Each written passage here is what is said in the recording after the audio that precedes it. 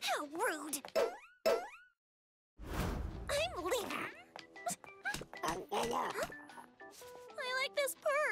But do you know what that horrible clerk lady at the counter said when I tried to buy it?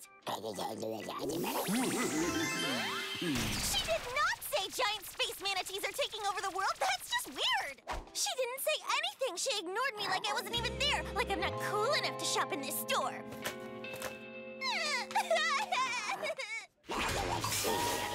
It was a pleasure taking your money.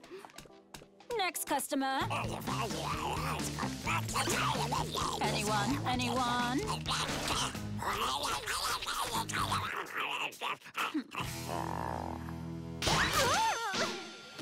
You're obviously not cool enough to be shopping in here. Get out or I'll call security. Just try to get me fired, you uncool person. Well, hello, Din. What can I do for you? I'd like to buy some perfume. Of course. I have just the thing. This lovely scent will make you think of tomato juice. Uh, oh dear, I'm so sorry. Let me clean you off with this towel.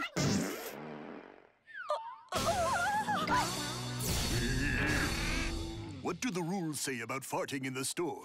Stop stinking up the customers or else. yes, sir. I need some super cool earrings. I have just the thing for you right here.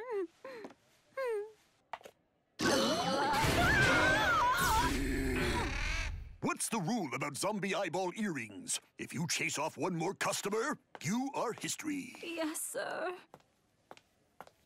Oh, hi, can I help you? Excellent choice. That purse is very you and only $900. How would you like to pay? Thank you for shopping at Snob Factor. Hmm? Zombie Express card? I can't take this disgusting thing! Hmm? Trying to fool me, eh? Cursed zombie! I told you you can't shop here, not ever! Because I hate zombies! What are the rules on releasing a supernatural rage? But I... And stripping a customer's dress off, too. You are fired. Oh. Please accept this purse at no charge, in addition to our most sincere apologies, madam. Oh, wow, you got the purse? But that style is so three minutes ago. This is what all the cool girls are carrying now.